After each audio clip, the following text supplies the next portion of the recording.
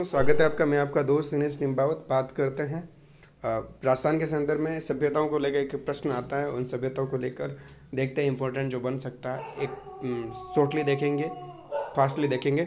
बेराट सभ्यता की बात करते हैं। बेराट सभ्यता के बारे में जानते हैं। बेराट जो कि कहाँ पर? जयपुर में, ठीक है ना, बात करें।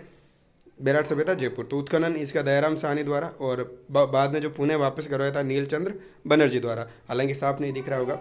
ये पीडीएफ जब कन्वर्ट किया तो इसका कलर चेंज हो गया।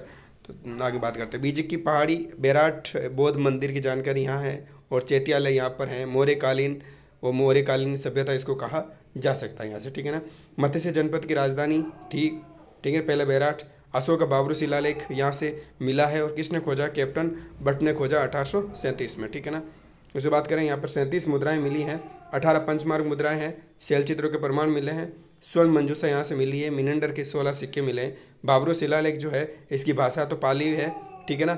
और जो लिपि है वो ब्रह्म लिपि याद रखना ब्रह्म लिपि है, भाषा पाली है। A sir, a survey, work of ancient science, L, एलोंडी loads जो है सरस्वती रिवर, ठीक है ना? ये आपके ओरल स्टैंड का, ये बुक है ओरल स्टैंड की, ये भी आप साथ में याद रखिएगा।